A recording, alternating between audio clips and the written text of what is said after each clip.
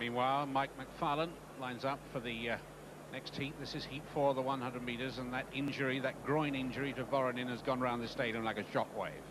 There's the lineup. He's got Bryzgin, the new Soviet fine, in lane three. The full lineup. There's Philip Snoddy of Ireland. He runs in lane one. Next to him is Arques of Spain, uh, wearing 751. Then the Soviet record recorder, when we get a chance to see him, 869. There he is, big, powerful fella. Soviet champion. 10.03 is run.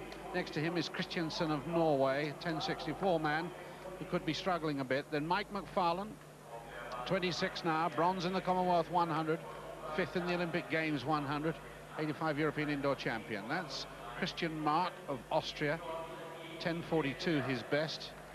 And the West German 19-year-old who was fourth in the World Junior Championships, he was quite impressive out there in Athens, that's Matthias Schlicht. So Michael McFarlane. Shared with Alan Wells that 1982 Commonwealth 200 meter title. They couldn't separate them. Second in the 3As. Knows that sprinting has moved on in Great Britain. It's very tough at the top. But he's battled for a place here. One of Britain's uh, most consistent international sprinters now, McFarlane.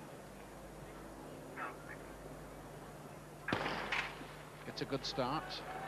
Mark does as well. McFarlane moving. Arques of Spain is going away. Bryzgin too. Bryzgin of the Soviet Union is going to be there first. Then Michael McFarlane looks across to see that uh, of Spain was second. McFarlane was safe in third.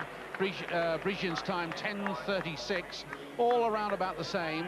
Alan Wells 10.31. We've had a 10.34, 10.36. And this is Bryzgin, uh, the 23-year-old teacher from the Soviet Union wearing red. He was the winner against East Germany, and we've already seen their best man uh, get up, so they'll meet again. Ark in the uh, blue and red of Spain on his left, and McFarlane looks across, having checked that the West German, Schlicht on this side, is not a danger, settles for third place there, although he would have to run a bit better, but he looks confident and comfortable, walks away knowing for sure that he's in the next round.